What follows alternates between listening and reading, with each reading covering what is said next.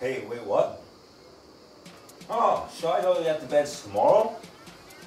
Oh, okay, sir. All right. Then I'll come to IKEA and I'll get the bed and I'll be all right. Yeah, yeah, sure. Donor! Donor! Yeah, I'm surely gonna need to fix my bed sheets and tomorrow I'm gonna go get myself a new bed, all right? I have a lot of washing to do. I have a lot of work to do at home, and tomorrow's my day off work, so at least I can get to bed.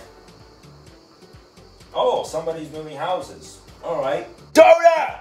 Go make it bad! When are we going to the beach? Shh, one second. Oh, sorry, that's my friend. Well, anyway, so I'm about to leave soon. I probably gotta get the furniture and I gotta prepare for my new house. Like, I'm also gonna be moving out in like three days and got everything prepared and yeah. Alright, I'll see you later. What was that? I have been waiting for 15 minutes for us to go to the beach. What the f- is your problem? You know what? You made me lose it. You made me lose it, alright? I'm not going to the beach with you. F***ing get out.